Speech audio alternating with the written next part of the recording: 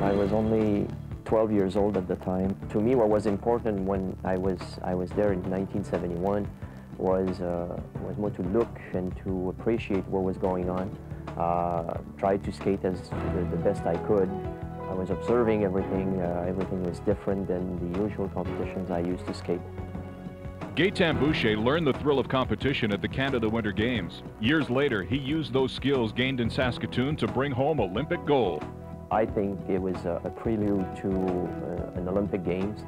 And uh, when I did go to the Olympic Games eventually, uh, it was like I had, I had seen, you know, at a, at a smaller scale what, what it was all about. And uh, it was a very, in that regard, a very positive experience.